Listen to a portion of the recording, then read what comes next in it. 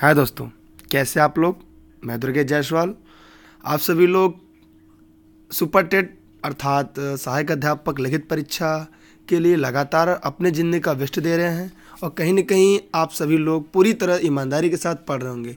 पढ़ें क्यों ना, क्योंकि परीक्षा कुछ समय या कुछ दिन और बाकी हैं, जिसे हम कह सकते हैं कि परीक्षा सर पे सवार है। और रिजवान सिद्दीकी जी का एक आइडियो वायरल हुआ है।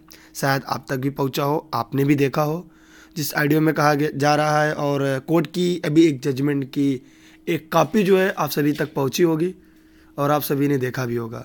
तो दोस्तों, जो दो तारीख को हेयरिंग की डेट मिली है तो कहीं ना कहीं अगर हम ये मान लेते हैं कि परीक्षा रद्द हो जाएगी, टल जाएगी तो उसी तरह से है कि जिस तरह से कि अगर रद्द हो गई तो कोई बात नहीं, अगर हो गई डेट पे तो हमारा बहुत सारा नुकसान हो सकता है। इसीलिए मैं आपको एक छोटी सी कहानी सुना रहा हूँ। शायद उस कहानी से आपको कुछ सीख मिल जाए। एक व्यक्ति था, आप लोग की तरह, मेरी तरह, वो फ़्लाइट पे बिज़नेस क्लास की सीट पर यात्रा कर रहा था। तो अचानक जहाज़ में खबर फैल गई। खबर ये फैली कि जहाज़ क्रैश होने वाला है। तो सभी यात्री लोग खड़े हो गए, चिल्लाने लगे और हाहाकार मच गया पूरे जहाज़ में। लेकिन वो व्यक्ति अपना काम करता रहा।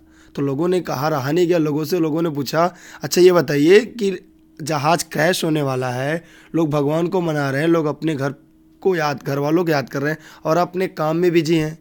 तो उस व्यक्ति ने बड़ी सजगता से एक जवाब दिया, शायद ये जवाब सुनेंगे तो आप सबको इस सारे प्रकरण का जवाब मिल जाएगा। उस व्यक्ति ने कहा कि, आप लोग अपनी जगह सही हैं।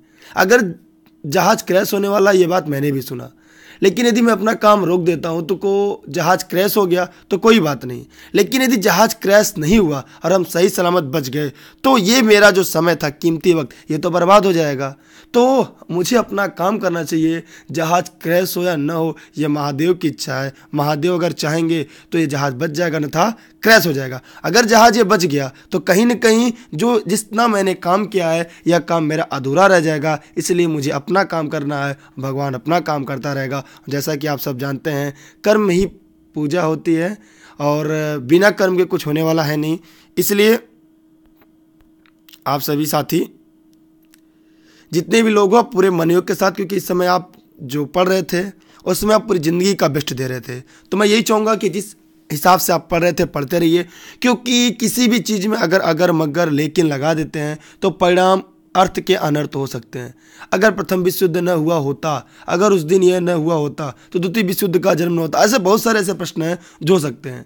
अब क्या होना, ये दो तारीख को होगा, और यह कहीं ना कहीं ये दो जनवरी को ये फैसला जब जजमेंट आएगा तो क्लियर हो जाएगा। किंतु अगर अभी से हम सर पर हाथ रख के बैठे, हो सकता है उस दिन हियरिंग के दिन कोई जज एबसेंट हो जाए या अगली तारीख मिल जाए तो परीक्षा छः तारीख को हो जाएगी और हम लोग हाथ मलते रह जाएँगे। इसलिए अगर आप पढ़ लेते तो ऐसा नहीं एक बदहजमी हो जाएगी। आप अगर एक हफ़्ते जो आज से लगभग सात आठ दिन बचे हुए हियरिंग को, जिस दिन का आप सब इंतज़ार कर रहे हैं तो कहीं ना कहीं वो आपके लिए अपच नहीं हो जाएगा।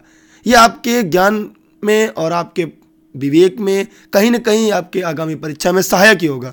इसलिए यह मानकर बैठ जाना कि परीक्षा होगी कि नहीं होगी, आप जो पढ़ाई की स्पीड थी वो कम कर दे रहे हैं। तो बस मुझे, मैं यही कहना चाह रहा हूँ कि आप जिस उम्मीद के साथ, जिस स्पीड के साथ, जिस मनोयोग के साथ पढ़ रहे थे, उसी मनोयोग के साथ पढ़ाई जारी रखे। यह मान कर चलिए कि छः जनवरी को पेपर होगा, बाकी महादेव की इच्छा। अगर जो होना होगा वो होगा, नहीं पढ़ेंगे तो भी होगा, पढ़ेंगे तो भी होगा। लेकिन अगर जैसा हम सोच रहे वैसा नहीं हुआ, और परीक्षा छः तारीख को हो गई तो क्या होगा? यह सोच के आप जैसे पढ़ रहे थे, वैसे पढ़िए, क्योंकि वही है, वही जो राम रचिरा का आप सब जानते हैं। तो फिर हमें ये नहीं देखना है कि 2017 का प्रकरण क्या है, प्रकरण में क्या होगा। बस हमें अपने ज़िंदगी का बेस्ट देना है, क्योंकि इस समय आपके सामने जो भर्ती प्रक्रिया पड़ी है, यह सबसे बेहतर भर्ती प्रक्रिया है और इसमें आप सम्मिलित होने के लिए जिस हिसाब से पढ़ रहे थे, उसी हिसाब से पढ़ें, बल्कि पढ़ने के टाइम रेशियो और बढ़ा दें। आप पूरे मनोयोग के साथ पढ़ें। इस तरह से लोग जो कह रहे हैं, वो होना भविष्य की गर्त में इसलिए इससे भविष्य को होने को सोचकर अभी सर पटकने से बेहतर है कि जब आएगा समय तो पता चलेगा क्या करना है, कैसे करना है। तो इसलिए हमें समय से पहले फैसला नहीं लेना चाहिए। वक्त जैसा आएगा, फैसला अपने आप हो जाएगा। इसलिए आप सभी लोग पूरे मनोयोग के साथ पढ़िए और प्रयास करिए, इस वीडियो को आप अपने सभी साथी प्रतिशतों तक पहुँचा दें।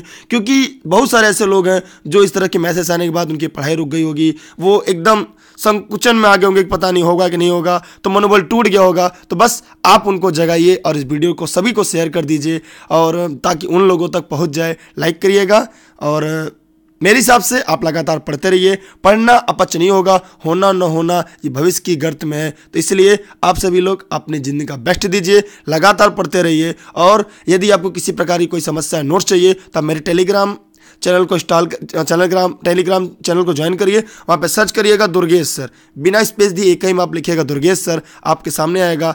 इन लर्निंग विद दुर्गेश, उसे ज्वाइन कर लीजिएगा। जैसे ही ज्वाइन करेंगे, आप मेरे चैनल पर जुड़ जाएँगे और आपको सब कुछ चीज़ें वहाँ पर आसानी से मिल जाएँगी। और मेरा फेसबुक पेज है इन लर्निंग विद दुर्गेश, वहाँ भी मुझे फॉलो कर सकते हैं। और साथ ही साथ आप पढ़ते रहिए और मैं आपके उज्जवल भविष्य की कामना करता हूँ। जय हिंद, जय भारत।